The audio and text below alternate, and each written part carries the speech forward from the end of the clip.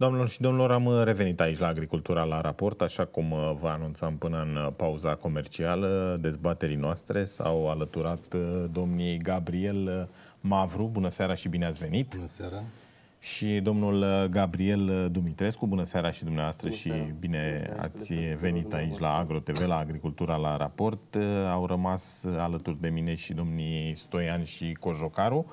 Domnilor, uh, haideți să discutăm și despre legea asta 321 per 2009, 150 per 2016, legea hipermarketurilor. Este o lege dezbătută, discutată de către toată lumea. Fiecare încearcă să găsească avantaje, dezavantaje, plusuri, minusuri. Domnul Cojocaru, în momentul de față, dumneavoastră, care este punctul de vedere pe care îl aveți? A curs multă cerneală pe aici pe subiectul ăsta. Dar noi nu căutăm avantaje, noi căutăm soluții. Pentru că să nu uităm că suntem în infringement pe legea 150 votată în 2016 și mm, pe șase articole. Și atunci s-au căutat mm, noua Comisie de Agricultură încearcă să repare greșelile făcute de vechea Comisie de Agricultură din mandatul trecut. Practic a trecut un an. Da, și... La vremea respectivă, anul trecut, se spunea că este o lege populistă. Urmau alegerile, lumea așa, așa o percepea. Așa a fost. Pentru că dacă și cei mai mici procesatori de lapte, care erau în aprilie și mai aveau speranțe, că ideea s-a pierdut ideea de la care s-a plecat, obiectivul legii de la care s-a plecat. S-a tot amestecat pe interese și pe asta și a ieșit altceva. Pentru că ești prins, pe de o parte, în legislația europeană, ceea ce a declanșat infringement și să zic așa, nu politicieni, că nu vreau să-i pun pe toți la un loc, și unele persoane din România care au profitat de tendința asta populistă și au vrut să aibă capital electoral. Am spus încă din startul inițiativei legislative. Legea trebuia împărțită în două. Legume, fructe. Cei care au inițiat-o și au cerut-o, că se preta această lege pentru legume, fructe, lanț scurt, uh, produse proaspete, perisabile cu plată la șapte zile, etc., etc. Și partea de industrial făcut al model. Pentru că nu poți să găsești cu o singură cheie să descui toate broaștele. Toate problemele care sunt în agricultură, în industria alimentară, o rezolvăm cu legea Dar 150. până în momentul ăsta o lege Nu, din contră, am, intră, toată lumea. am intrat în infringement. Și atunci, în luna mai-iunie, s-a încercat la nivel de Comisie de Agricultură în Parlament să găsească soluții la acele probleme de infringement, acele articole care trebuiau periate, schimbate, lanț scurt în loc de produs românesc sau produs autohton și parte, etc., etc. Și atunci, eu personal prin adrese trimise către eh, Parlament, către Comisia de Agricultură. În plen, există și înregistrare video și stenogramă, am cerut să, ca industria laptelui să iasă de sub incidența lui 51%. Pentru că am eu așa un feeling și studii și analize că nu e de bine. După mine a urmat și Asociația Română a Cărnii, care a spus că dorește același lucru. Uh, eu nu am făcut decât să particip la dezbateri pe dialog social în care actuala Comisie de Agricultură, actualii parlamentari, se consultă cu mediul de afaceri. Ei decid politic, ridică mâna în Parlament. Acum că unii au rămas cu nostalgii din mandatul trecut, e problema lor. Dar cum a fost legea 150 ca și legea 88 la etichetarea laptelui? Noastră sunteți fermier, Domnul Ilie Stoian este politician parlamentar în Comisia de Agricultură. Facem da. așa un scenariu, da? Și eu sunt procesatorul. Noastră îi spuneți lui Ilie, mă, am eu o idee să-i facem lui ăsta, adică mie, o lege, fără să-l întrebăm dacă o fi bine sau o fi rău. E ca și cu bătrânica și... cu trecutul străzii. Exact. Iar uh, Ilie vă întreabă, da, ai afaceri în lapte? Nu. Păi și at- tu de ce te bași tu să-i faci lui ăsta legi? Păi nu, că o să-i fie lui bine. Eu știam că dragoste cu forța se numește viol. Da? Și bine cu forța nu poți dacă nu mă întreb. Eu trebuie să-i spun lui ce mie mie bine și el să mă ajute legislativ. De aceea am și postat pe acea rețea de socializare. Băi frate, vorbiți fiecare în dreptul vostru, unde vă pricepeți și pe businessul vostru nu mai vă interesați de capra vecinului, de găina vecinului. Știe el mai bine cum să-și facă afacerile și ce e bine lui ca și industrie românească, ca și capital românesc. Fiecare să-și vadă. Eu nu o să vorbesc acum despre legume, fructe. Nu, chiar dacă am un hobby așa, am și o grădină, dar nu sunt specialist, nu trăiesc din asta, nu cunosc detaliile. Și atunci politicianul deștept, pe care eu îl respect, din Comisia de Agricultură, a început să întrebe. Tu, la, tu pe cine reprezinți? Păi eu reprezint carnea. Ia spune cum e la carne. Tu ce reprezinți? Salamul. Tu ce reprezinți? Lăpticul. Da? Și a întrebat pe fiecare. Mandatul trecut era, băi, voi ce vreți? E, au trecut vremurile alea, stalți la putere acum. Da? Oameni mai înțelegători, mai deschiși, da? mai normal la cap. Asta Vorbeați e legea 150. despre legumicultori, domnul Mavru. Vreau să îmi spuneți da. și dumneavoastră care este poziția pe care o aveți vis-a-vis -vis de legea asta 150 pe 2016. Îl auzeați pe domnul Cojocaru cum vede lucrurile, cum le... le văd pe industria mea. Pe industria da, dumneavoastră, da. Nu mă... Deci noi suntem uh, niște producători foarte mici, divizați, cu 1, 2, 3, 5 hectare, care cultivăm începând de la cartofi, diferite legume. Și cea mai mare durere a noastră este că nu avem o piață de desfacere, nu avem o legătură cu nimeni. Noi practicăm un comerț, să zicem așa, pe marginea șanțului. Nu mai spuneți că suntem la televizor. Spuneți pe lanțul scurt. Deci, chiar dacă suntem la televizor, trebuie să spunem niște realități. Le cunosc ei, dar... Da. Deci anul ăsta n-ar fi să nu fiu... Vreau să ce cultivați acum? Ce culturi aveți? noi de obicei de la Peretu cultivăm cartofi timpurii, varză timpurie, morcovi în prima fază a anului, mai puțin uh, tomate, salată, ceapă verde. Uh, după recoltarea cartofilor înființăm a doua cultură, varză, țelină, uh, morcov, fiecare cum își, cum își face planul. Și unde vindeți? În piețe, nu? Uh, mai puțin în piețe, La vindem, vindem de acasă. Eu n-aș fi atât de drastic să numim samsar. Intermediar, poftiți. Intermediar, pentru că trebuie să existe o legătură între producător și consumatorul final. Normal.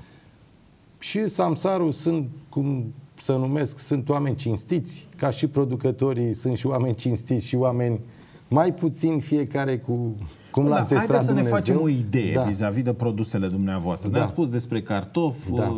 varză și așa mai departe. Da cu cât vindeți dumneavoastră la un intermediar în momentul ăsta uh, kilogramul de cartof da. și cu cât ajunge el în piața aici în București, da. pentru că multă marfă. Același cartof. Da. Același cartof. Uh, de exemplu, la Peretu, nu știu dacă vor mai fi 2% de recoltat cartofi în, în momentul de față. Am înțeles. Dar uh, uh, spre sfârșit, că atunci, spre sfârșitul recoltării, la noi prețul merge în scădere. Deci la noi prețul e mai schimbător ca bursa, să zic. Și la Pepen e la fel. Am văzut 5 ani Pepen produs și vândut când eram student, da. știu cum e. Când deschizi da. piața, da. când te lansezi, ai, să zicem, 10 da. lei pe kil. Când la final, da. când rupi bostănăria, 2 lei pe kil. Deci s-a început undeva să fim realiști la 1,50 lei. Vorbim uh, prețul... Eu vă întreb în aceeași perioadă, pentru a avea așa ca să, să avem o viziune, da. să știți da, ce, ce da. pierde consumatorul. Să da, comparăm. Da. Deci, să zicem așa, în momentul în care se vindea cu 30 de bani la noi, la producător, așa. Uh, din informațiile pe care le aveam din, de la diverse persoane, uh, prețul la consumator era de 2 lei. Wow. Deci 30 de bani plecat la de la dumneavoastră, da? La și ajungea pe tarabă în piață cu 2 lei. Cu 2 lei. Deci aproximativ de 7 ori mai mult, da? La un calcul uh, simplu. Da. Și pe tarabă se ia cu TVA sau fără TVA? Nu știți, era Acum, fără TVA. O lăsăm fără TVA. Să nu intrăm în... Am înțeles. Nu dătea nici bon fiscal. Păi, păi și uh, chestia cu carnetul de comerciant și producător, care a fost atât tantam cu el... Păi la noi, Avea... se, îmi permiteți? Vă rog, da, chiar da, vă rog. Da. Deci producătorul taie uh, din carnetul de producător de acel și da. rămânează Comerciant. Primului, primului client. Da. Că acum, deci de la noi, de la producători, că or fi unul sau trei intermediari, asta nu știm exact. Și să înțeleg că ce cantitate de cartofi îi ați dumneavoastră sau vorbim de toată comuna Peretu? Aș vrea să vorbim, dacă îmi permiteți, cumva să privim da. lucrurile în ansamblu, pentru că Chiar nu putem să ne referim numai la o anumită suprafață. Aș discuta în ansamblu în ideea că acolo vorbim de un bazin legumicol. Peretul are o tradiție, noi suntem mai mici, să zic, ca vârstă, dar dumneavoastră foarte probabil uh, știți foarte bine ce înseamnă acest, acest peretu. E vorba de o tradiție undeva în jur de minim 50 de ani de când se produc în cantități mari acolo legume. Sunt lucruri mai puțin știute. Nu apare nicăieri atestat ca idee acest bazin legumicol. Vorbim de peretul 200... e cunoscut cu două roate și măgara telaj particular. Deci așa da, e cunoscut da. peretul și uh, caracolul cu țiga cu cap negru sau ce avea. Oaia cap negru de da. Telorman. Da? Da. Știu că am luptat și eu un pic să fie Parcă era și noi am luptat bună pentru... când erau măgari în Da, strângeam baloți de lucernă în vremea În 1980-81 strângeam baloți de lucernă pe la da. Au dispărut Frumos. și măgarii, să înțeleg. Unde s-au da, luat calea Italiei sau unde? La Salam, la unde? Italia, la Salam. S-au transformat în tractoare, să știți, la nivel de peretul. E o comună care crește și de 50 de ani la peretul să fac legume și Revenim la cei 50 de ani de când la peretul se fac legume da? în cantitate mare. Vorbim în momentul ăsta de un potențial undeva în jur de 300 de hectare în momentul actual. E o expunere mare, dar apar exact problemele de diviziune. Nu avem o, o locație exactă în care să vindem și pe o cantitate mare am încercat niște demersuri, zâmbeați mai devreme când am zis de zona de hipermarketuri. S-au făcut demersuri în acest sens, ne-am uh, și coalizat. Nu deschiși? Uh, ba da, vor fi. Să vină Sperăm. în întâmpinare, să vă ajute, să facă cooperativă cu noastră. Am început noi să facem pași în sensul ăsta, în ideea de a reuși să accesăm pe zona de fonduri europene, că mm, asta subliniam și mai devreme în, în începutul discuției. Uh, da, eu sper să fie deschiși, sper să, sper să Care vină. E punctul Dar până vin și trebuie de să legea asta 150 pe 2016.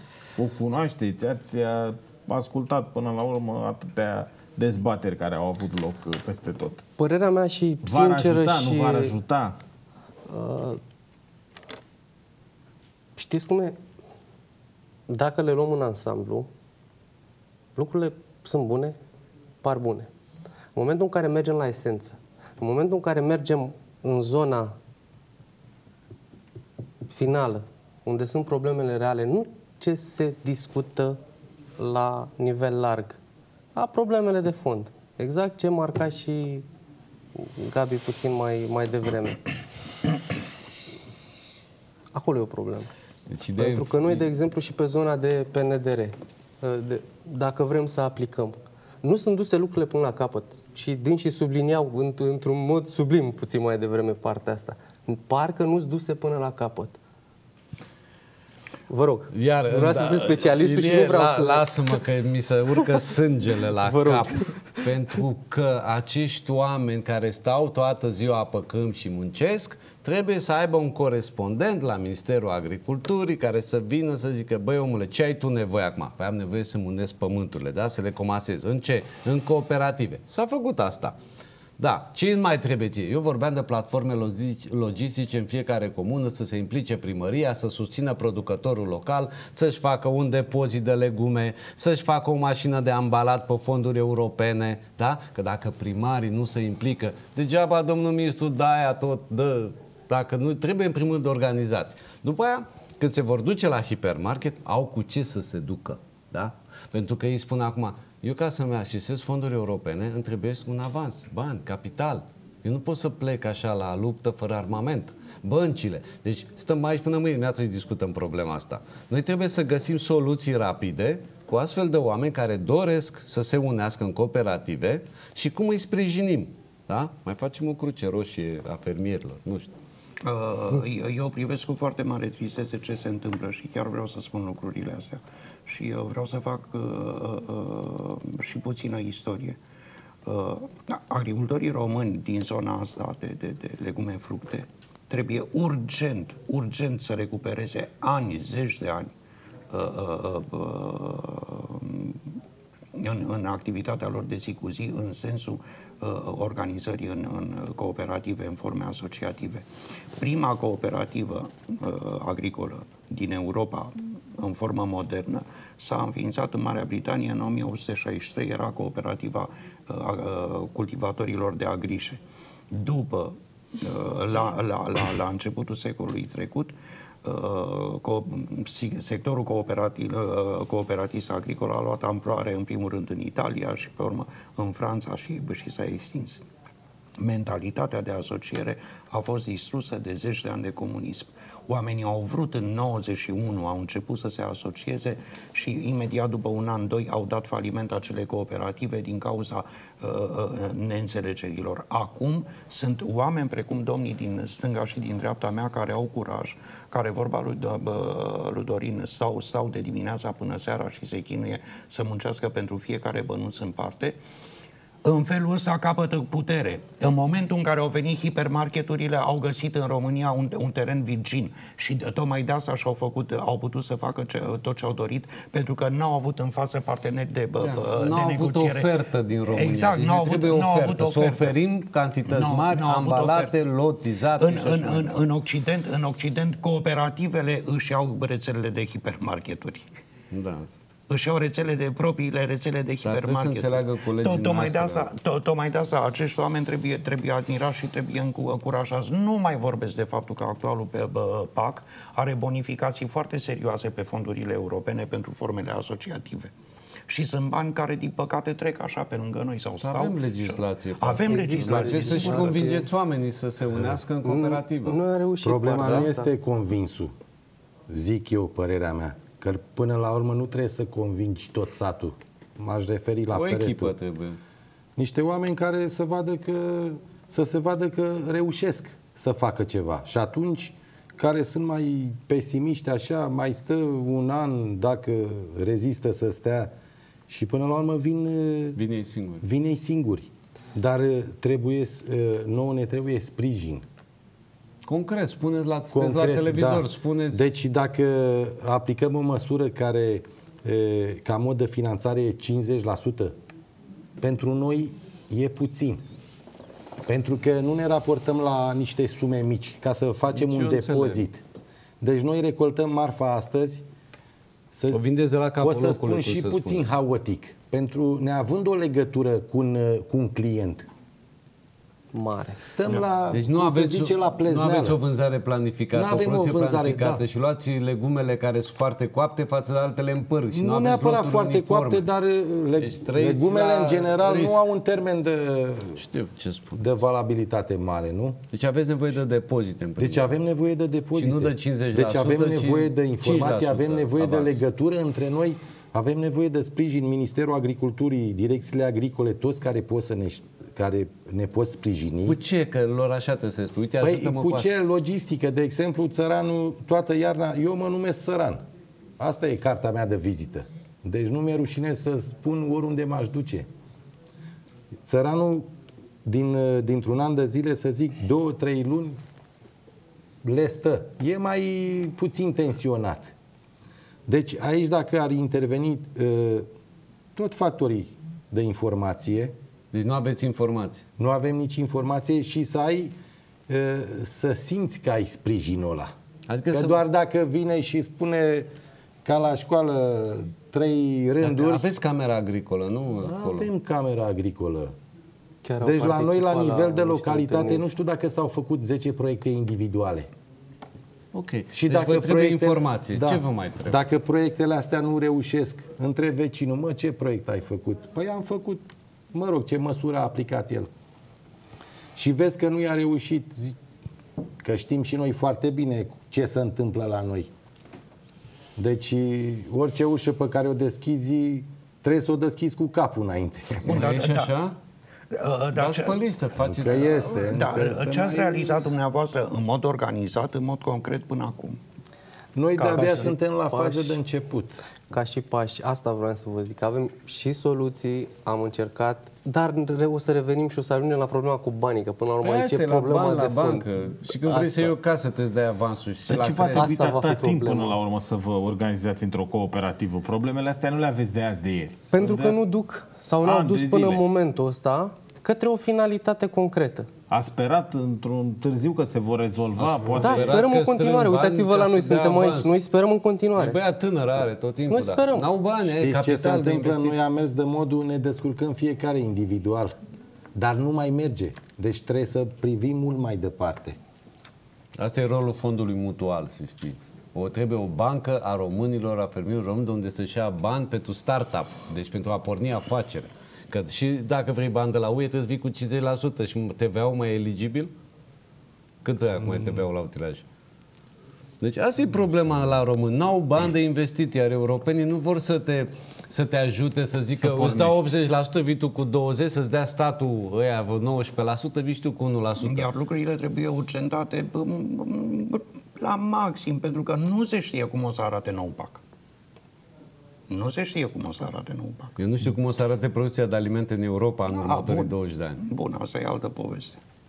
Uh, dacă nu cred putea... că va arăta prea bine pentru fermierii români și Bune, nu numai bă, pentru fermierii români. Bugetul se va micșora deci, din toate datele. aveți ocazia să spuneți ce vă trebuie concret ca să audă cei care ne văd acum, politicieni și ministrii, da cu ce trebuie să vă ajute concret? Concret. Deci, am făcut o analiză foarte clară la tot ce înseamnă sistemul din punctul ăsta de vedere. Când spun sistem, nu e în zona aia care îi provoacă da. zâmbete în ultimul timp. Uh, am făcut o analiză, am văzut că tot ce înseamnă zona de măsuri pe PNDR nu, nu duc până la capăt către această nevoie, pentru că revenim la aceeași problemă a banilor, chiar dacă suntem informați, chiar dacă știm ce urmărim, nu ajungem la, la o finalitate 100% s-ar putea inventa, să zicem, sau crea în cadrul Ministerului un, o zonă de program pilot. Atâta timp cât uh, plecând uh, de la nevoie eu nu ajung către o finalitate, înseamnă că undeva în, în, tot, în tot angrenajul ăsta ceva e în neregulă. N-am un studiu de impact făcut pe măsurile astea, dar ați discutat la minister cu cineva problema asta? Sigur. Sunt făcute demersuri în momentul păi... ăsta. De asta vă spun că noi încercăm, facem demersuri în sensul ăsta. Cum vreau să fac observatorul laptelui de 4-5 ani. Tocmai de a face studii de impact, de a da sfaturi fermierilor cu 6 luni înainte, să faci previzionări ca el să poată să-și facă business planul. Știți la, în primăvară cât o să fie cartoful, la anul cât va fi roșia Noi ca nu preț? știm. Noi ce se întâmplă? Deci dacă anul ăsta nu știu, ob- nici mâine obținem un profit, pentru anul zicem hai să mai mărim fiecare, deci mărește, să mai mărim suprafețele. Să mărește pălăria. Și atunci, dacă la nivel național, dacă nu avem o informatizare, să facem o previziune pentru anul următor. Strategie de planificare de producție Așa, la nivel național. Că nu se știe, facă ministerul. Da, nu se știe dacă anul viitor va merge exact ca anul ăsta. A fost cazul cu rapița, când au pus toți rapițe da. și a picat prețul. Nu? Haideți să luăm o scurtă pauză comercială și ne revedem în aceeași formulă după câteva minute.